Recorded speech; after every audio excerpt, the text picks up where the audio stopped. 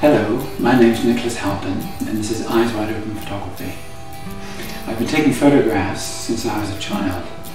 I would disappear on a Sunday, spend hours at the beach or in the forest trying to capture that elusive beauty of the moment. Even then, I realized the senses thrill of the moment is something quite sacred and all too fleeting. My hope as an artist is to create an emotional bridge to those special moments to have a viewer stop in their tracks in front of you by photograph and be transported into another world. It is a process not only of opening your eyes, but opening your heart too. I love to travel, so many of my images are inspired by traditional cultures and thought-provoking landscapes.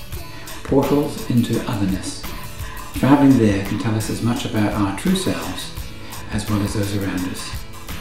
Why don't you travel to my gallery or visit my website and find out for yourself?